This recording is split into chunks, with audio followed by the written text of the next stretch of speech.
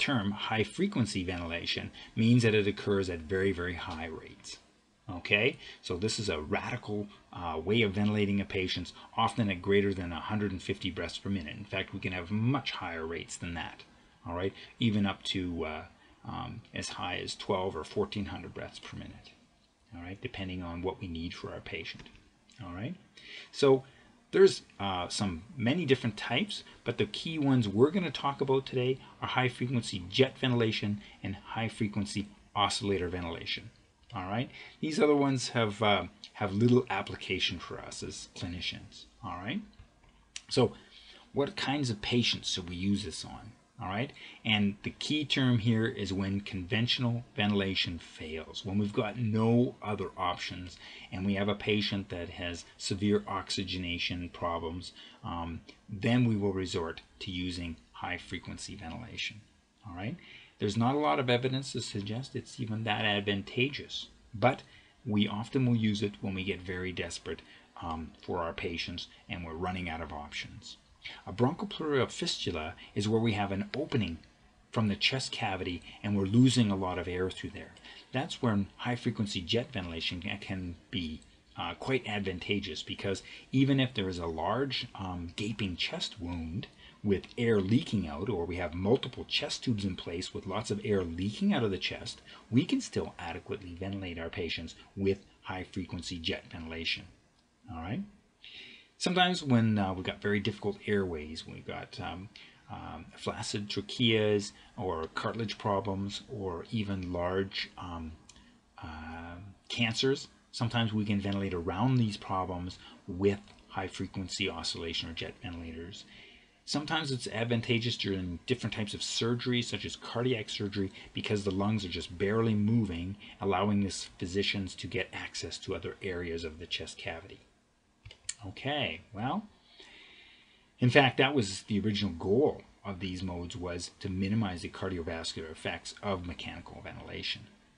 We can argue about whether or not that occurs. All right, so one hertz is equal to 60 breaths per minute. All right, so just to give you an idea of what this means about the one hertz, right?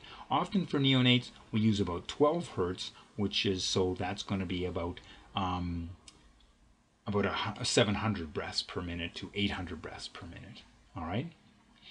Key thing about this is that at these very, very high rates, all right, we have really small tidal volumes. All right. And the, even the mechanism of gas exchange is not even well understood with high frequency ventilation. We have some theories on that because we've looked at it We're looking at um, like liquids um, and gases at these high rates, but it's really difficult to state what's happening right inside the airways. But it can be very effective both to ventilate and oxygenate patients with these really, really small tidal volumes. So we're going to put in these really, really small vital tidal volumes really quickly and a lot of them to get the ventilation that we require. All right. Key thing, um, both inspiration and exhalation are active processes. So we push the breath in and then we actually suck it back out again. So we oscillate back and forth, back and forth around a set pressure, pushing and sucking air out in and out of the circuit. All right. Some of them are just one way.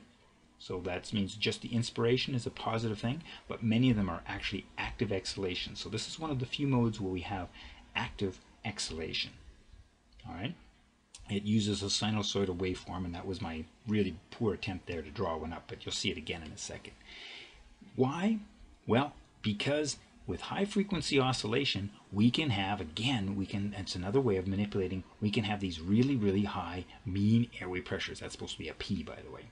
So we can have these really high mean airway pressures, and we can have those high mean airway pressures and oscillate around them allowing the patient to have this kind of continuous open lung strategy and then these very very small tidal volumes moving in and out that are just going to give us enough ventilation enough minute ventilation to remove the carbon dioxide buildup.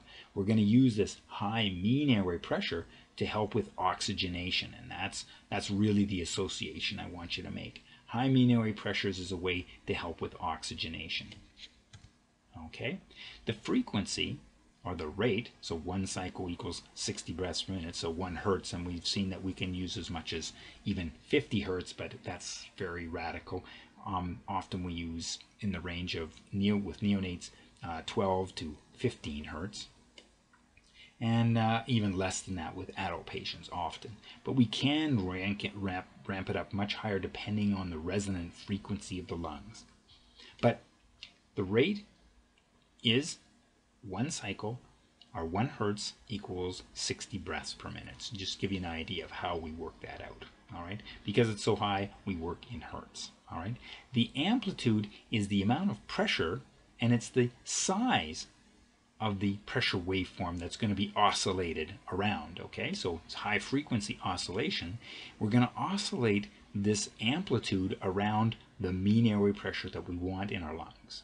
Okay, so this is the pressure swing around the mean airway pressure. So we establish a high level of, of pressure in the lungs and then we oscillate around that pressure. Okay, so let's see what this looks like. And of course, we're going to adjust the FiO2. Often with this mode, we're using very high FiO2s. And when we can start to wean it down, that's when we can start weaning down our settings. All right, so let's see what we have. We set here, um, and we're going to set our uh, PEEP level, and that's going to establish our baseline or our mean airway pressure. Okay, so we call it a PEEP. Some manufacturers call it a CPAP level, or constant positive airway pressure, and then we oscillate the breaths around that level. Okay, so this of course is inspiration, and of course this is exhalation. So we oscillate around here at that very, very high rates. So this is our hertz, this is our rates. Okay, so one hertz equals 60 breaths per minute, and we often use around, you know, as much as 12 to 14 hertz, depending on our patient.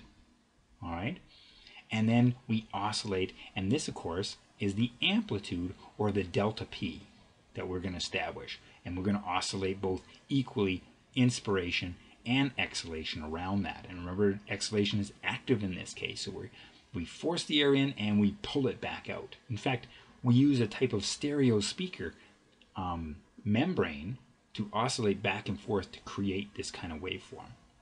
All right. So we do keep a kind of a background flow of gas continuously around this. So the flow of gas towards the patient is going to be, of course, match our pressure waveform. Okay. So what are the beneficial effects? Because this is a this is one heck of a radical way to ventilate a patient. All right, and we don't do it unless we have to. But with certain patients, we found it to be advantageous. All right. The key things are we promote rather effective gas exchange at very low mean airway pressures and very low delta P's. So we can minimize the damaging effects both on the cardiovascular system and on the lungs themselves. We're hoping that this is a lung protective strategy. All right. So we're going to lower the incidence of baro or pressure trauma to the lungs because we can actually do this at quite gentle pressures. Okay. So what's the key thing we're going to do here? We're going to have um, very high levels of PEEP or quite a bit higher than normal. And then we're going to oscillate around this PEEP level. So we have high mean airway pressures, right, with very low tidal volumes, and actually quite low changes in pressure in the lungs, but at very, very high rates. Okay, so wait, this is this is the mechanism here. We have very, very high rates, and that helps with CO2 removal all right? And the mean airway pressure, this high, high mean airway pressure, this was kind of open lung strategy here, helps us with oxygenation. So what do we use high frequency for? Patients where we have difficulty, we have very low oxygen um, capabilities with the patient. We have very low PaO2s. We're having a hard time oxygenating those patients. When we put them on the high frequency oscillators or jet ventilators, we can help with oxygenation so we can improve that. And we can also actually remove an awful lot of CO2 quite effectively with very low pressures. All right, so it seems like a kind of a nice win-win situation because these pressures with patients with IRDS or severe ARDS are the damaging effect. In fact, the little bit of healthy lung they have every little bit of pressure destroys that. So we're hoping we can get around destroying the healthy lung tissue by buying some time for our patient by using this high frequency oscillation.